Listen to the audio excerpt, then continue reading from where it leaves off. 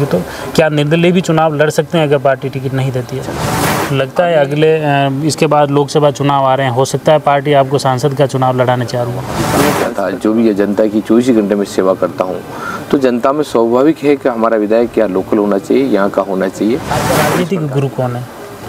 और नाराज़गी की क्या बात करूँ किसी भी काम को करने से पहले उसको कॉन्फिडेंस पे लेना ज़रूर लेना चाहिए। ये बता रहे हैं कि नरपत सिंह राज भी यहाँ से पहले भी चुनाव लड़ चुके हैं और इसलिए पार्टी ने वापस यहाँ मौका दिया है।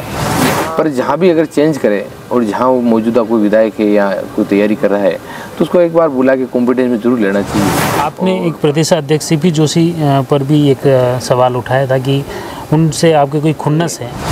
पर कहीं न कहीं इस कंट्रोल में कहीं न कहीं कमी है। आप निर्दलीय चुनाव लड़ते हैं तो ये नहीं लगता है कि कहीं ना कहीं जो आम कार्यकर्ता हैं वो धर्म संकट में फंस जाएगा?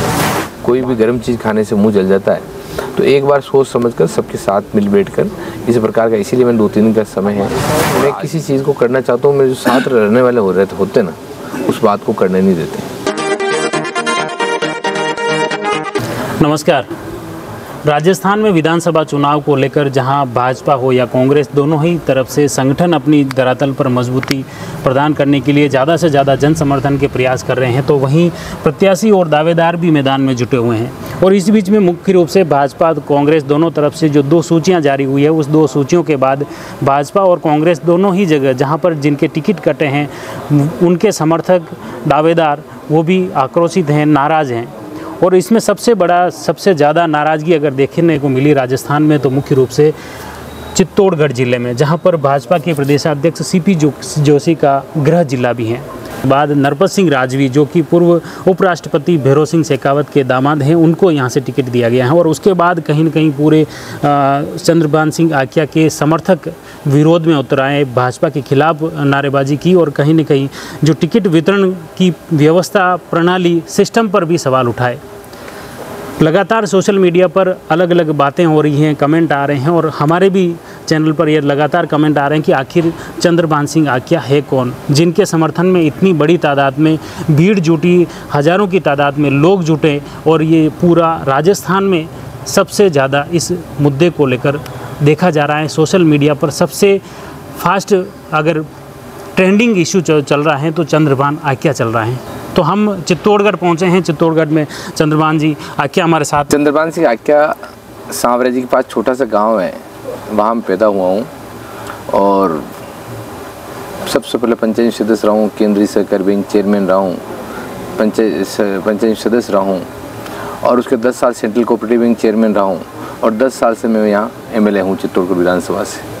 मुख्य रूप से आपके मुख्य रूप से शहरवासी जुटे, आपके समर्थक जुटे, उन समर्थक में मुख्य रूप से ये बात आई कि यहाँ पब्लिक आपके साथ हैं।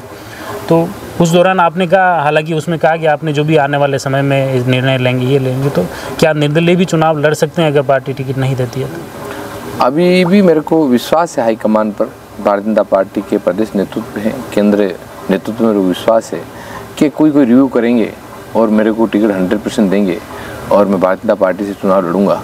अगर नहीं देते हैं फिर नहीं करते हैं तो फिर जो भी जनता कहेगी जनता के साथ रहना पड़ेगा। क्योंकि लंबा राजनीतिक कैरियर अभी सैंतालीस साल की मेरी उम्र है और लंबा कैरियर मेरे को देखना है तो घर तो मैं बैठ नहीं सकता। जनता जो कहेगी उसकी जनता के अनुसार रहूँगा। एक मुख्य रूप से आपका बर्थ डेट क्या है? कहाँ आपका जन्म हुआ था? पाँच नौ छिहत्तर का मेरा डेट हो गया गाँव आख्या छोटा सा गाँव है। सांवरे जी के पास गाँव है वहाँ मैं पैदा हुआ। आपका राजनीतिक गुरु कौन है? अभी राजनीतिक गुरु तो किसी ने बनाया नहीं। और मैं शुरू से अटल बिहारी वाजपेयी को भैरव सिंह जी शेखावत को आदर्श के रूप में देखा है और उनके कैरियर को देखते हुए मैंने राजनीतिक शुरुआत करी छियालीस साल की उम्र है। इस दौरान आपने जो अलग अलग छात्र राजनीति से आपने करियर शुरुआत की क्या ऐसा धक्का पहले कभी लगा पार्टी की तरफ़ से या आई के दौरान? राजनीतिक में अगर आप अपन राजनीतिक कर रहे हैं और राजनीतिक अगर अपन को शौक है तो इस प्रकार के धक्के तो लगते रहते हैं। इसमें भी अपन को धीरज रखनी चाहिए। इसमें भी ईश्वर की कोई मर्ज़ी है कोई अच्छा चीज़ निकाल के लाएगी कोई भगवान अच्छा करने के लिए इस प्रकार की कर सकती है तो इस ईश्वर पर विश्वास ज़रूर करना चाहिए जो भी करेगा सांवरे से अच्छा करेगा। लगता है अगले इसके बाद लोकसभा चुनाव आ रहे हैं। हो सकता है पार्टी आपको सांसद का चुनाव लड़ाने चाह रही है। मैं सांसद का चुनाव लड़ूँगा। मैं चुनाव लड़ूँगा विधायक का चुनाव लड़ूँगा उसके अलावा सांसद का चुनाव लड़ूँगा। या दूसरा कोई संगठन में भी मेरे को काम नहीं करना है। मैं संगठन का काम भी नहीं करूँगा मैं विधायक का चुनाव लड़ूँगा। तो इतनी नाराज़गी क्यों है? आपकी संगठन से नाराज़गी है या और कोई? मेरे को संगठन से भी नाराज़गी नहीं है। और नाराज़गी की क्या बात करूँ? किसी भी काम को करने से पहले उसको कॉन्फिडेंस पे लेना, ज़रूर लेना चाहिए। जब उनको कह दिया कि अपन आप चुनाव लड़ना है, आपको सब कुछ करना है, आपको तैयारी करनी है। जब धरातल पर तैयारी कर देते हैं तो कार्यकर्ता में हताशा ज़रूर आती है क्योंकि हमने तैयारी कर ली, इतना प्रकार कर लिया। और ऐसी कोई बीस दस साल में, ऐसी कोई शहर में, ऐसा कोई, ऐसी कोई चीज़ नेगेटिव नहीं आई। जब मैं विधानसभा में 10 साल में प्रतिपक्ष का आ, काम था वहाँ आवाज़ बुलंद करना वहाँ भी काम किया था जो भी ये जनता की चौबीस घंटे में सेवा करता हूँ।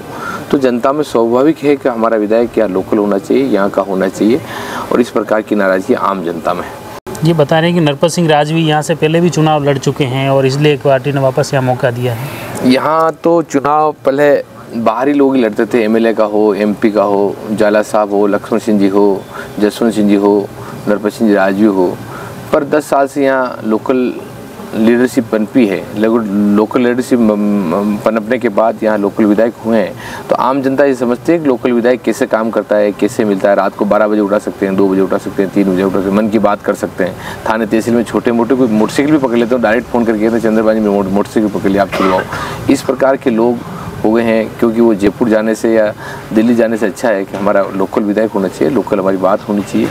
और लोकल जो भी हमारी घटना दुर्घटना होती है, वो सुख दुख में, मौत बरकत में शादी विवाह में हमारे साथ खड़ा रहना चाहिए। आपका कहने का मतलब अभी जो ये परंपरा या सिस्टम शुरू किया है भाजपा ने, जहाँ की एक को हटा के वहाँ दूसरे को लगाना ऐसी जैसे ये कहानी शुरू होती है राजसमंद लोकसभा से, जहाँ से दिया कुमारी जी का वहाँ उनको टिकट दिया जाता है जयपुर के विद्याधर नगर और वहाँ पर नरपत सिंह जी का टिकट काट के उनको यहाँ भेजा जाता था। तो ऐसे अलग अलग कई जगहों पर ऐसे सांसदों को भी दिया और भी कोई दूसरे तो आपको ये लगता है इसके इसी वजह इसकी वजह से कंट्रोवर्सी जो उत्पन्न हो रही है भाजपा को नुकसान हो सकता है इसे? देखो मैं ऊपर की बात तो राजसमंद में क्यों किया कैसे किया ये बात केवल पर्टिकुलर राजसमंद की बात मैं राजसमंद और मैं दूसरी जगह की बात तो नहीं कर सकता हूँ। उन्होंने जो भी किया होगा कुछ सोच समझ के किया कोई डिसीज़न किया होगा। पर जहाँ भी अगर चेंज करें और जहाँ वो मौजूदा कोई विधायक है या कोई तैयारी कर रहा है तो उसको एक बार बुला के कॉम्पिटेंस में ज़रूर लेना चाहिए। और पार्टी का इमेज कंट्रोल भी ऐसा होना चाहिए जो ढंग का आदमी कोई बात करके, चर्चा करके उस बात को सोल्व किया जा सकता है। ऐसा डिमेज कंट्रोल जो होना चाहिए वो राजस्थान में भी हो नहीं पा रहा है। जहाँ जहाँ भी प्रथम लिस्ट जो निकली थी, उसमें भी इस प्रकार की बातें इकतालीस लिस्ट निकली, उसमें भी इसी प्रकार की बातें हुई थी। एट्टी की लिस्ट जो निकली है, उसमें भी इस प्रकार की बातें हुई थी। इस बातों को रोकने के लिए, पार्टी संगठन को आगे बढ़ाने के लिए कहीं कहीं कंट्रोल करने वाले मज़बूत आने होने चाहिए। और पार्टी के उचित फोरम पर इस प्रकार की बात करके उस बात को सोल्व करनी चाहिए। एक डैमेज कंट्रोल के लिए केंद्रीय मंत्री कैलाश जी को इसका प्रभारी बना रखा है। हालाँकि जैसे देर नरपत सिंह जी जब राजवी वहाँ आक्रोशित हुए, उन्होंने भास्कर को एक इंटरव्यू भी दिया उसमें, उन्होंने सवाल उठाए थे। उस सवाल के बाद में प्रदेश प्रभारी अरुण सिंह जी उनके आवास पर जाते हैं और उसी समय कहीं ना कहीं उन्हें डैमेज कंट्रोल कर उन्हें समझाते हैं कि आप वो किसी दूसरी जगह देंगे।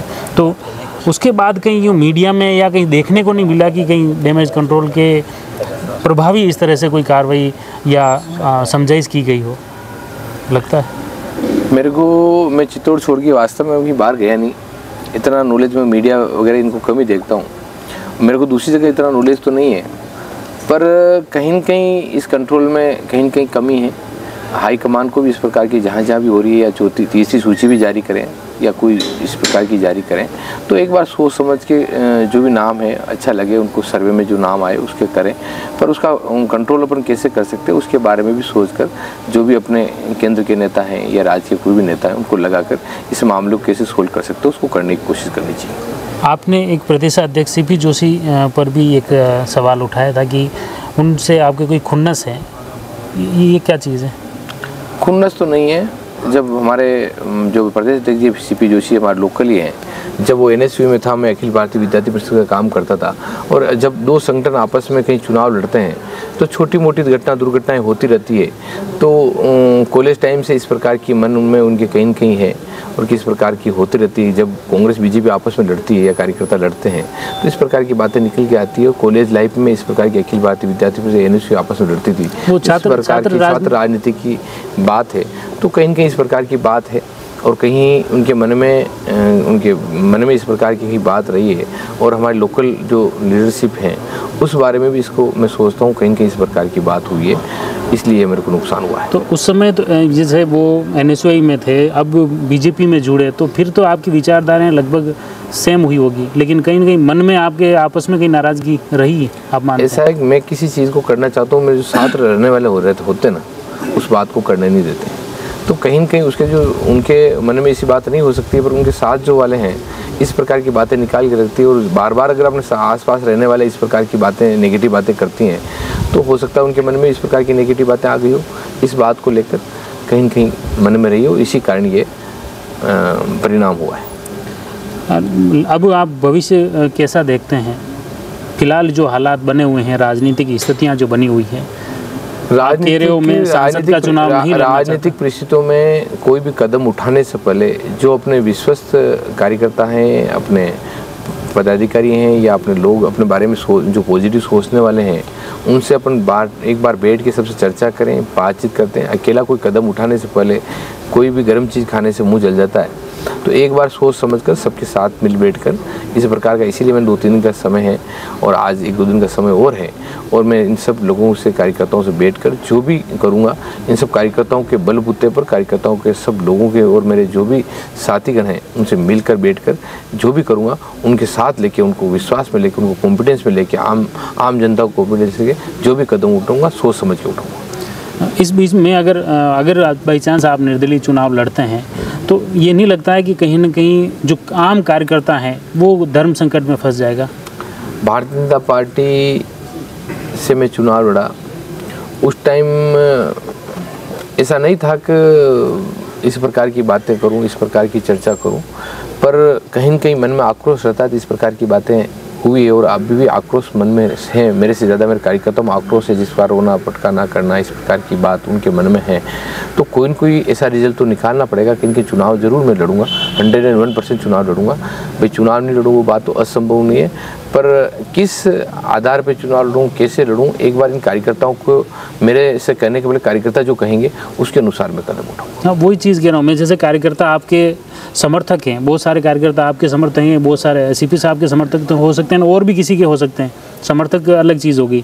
लेकिन उनका कहीं ना कहीं वो पार्टी के लिए भी हर एक व्यक्ति के पास जब वोट मांगने जाएँगे चंद्रभान सिंह के साथ में अभी जैसे जो भी आपका निशान हो कि चंद्रभान सिंह को अलमारी पे या इस पे वोट दो फिर वापस लोकसभा चुनाव आएगा तब वापस हो जाएगा कि नहीं फूल पे दो। तो ये ये चीज़ें प्रकार की बात अभी हुई नहीं तो मैं डायरेक्ट आपको कैसे कर दो अलमारी इंजन इस प्रकार की बातें तो हुई नहीं है ना। चर्चा होने के मतलब बाद तो हाँ, सोच समझ के जो भी इंजन भी इंजन भी लड़ेंगे फूल के निशान पे लगेंगे किस पे लड़ेंगे वो तो एक बार परिस्थिति आने के बाद करूँगा बिल्कुल बहुत बहुत धन्यवाद। ये थे चंद्रभान सिंह जी आख्या।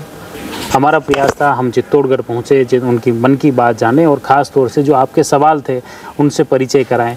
भाजपा की ओर से इनका टिकट कट जाता है और टिकट कटने के बाद कहीं न कहीं इनके जो समर्थक हैं भाजपा के कार्यकर्ता हैं वो आक्रोशित हो उठते हैं और कहीं न कहीं इस टिकट को निरस्त कराने की मांग पर अड़े हुए हैं। देखो, आने वाले वक्त में पार्टी क्या कदम उठाती है, क्या डैमेज कंट्रोल के प्रयास सफल होते हैं, वो तो आने वाला वक्त बताएगा। लेकिन फ़िलहाल जो वातावरण बना हुआ है, उस वातावरण के बीच चंद्रभान सिंह आकिया की बात हम आप तक पहुँचा रहे हैं। आप जुड़े रहे जयवर्धन न्यूज़ के साथ। धन्यवाद। The Maruti Nandan grand Nathdwara स्थित एकमात्र ultra luxurious five star hotel Rajsamand ज़िले की एकमात्र five star hotel the Maruti Nandan grand में भोजन की स्वादिष्ट थाली अब सिर्फ़ दो सौ नब्बे रूपए में। श्रीनाथ जी की नगरी नाथ द्वारा में इस सुनहरे अवसर का आनंद अवश्य उठाएँ।